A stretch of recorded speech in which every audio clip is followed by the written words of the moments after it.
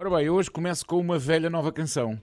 É que na quinta-feira passada os Queen mostraram ao mundo às 11 da manhã uma nova canção.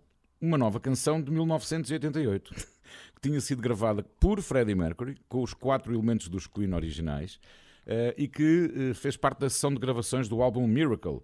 Eh, uma altura em que a banda fez cerca de 30 canções e muitas, claro, não foram, não foram lançadas e esta, este Face It All manteve-se entre aquelas que não chegaram ao alinhamento final do disco. Então esta canção foi redescoberta agora há pouco tempo quando um, o grupo, os Queen e a equipa de arquivo começaram a trabalhar na reedição de The Miracle, porque The Miracle vai ser reeditado dia 18 de novembro este 13 terceiro disco e o penúltimo gravado com Freddie Mercury, eh, e vai ser eh, editado numa caixa de luxo de oito discos, intitulada Queen uh, The Miracle Collector's Edition.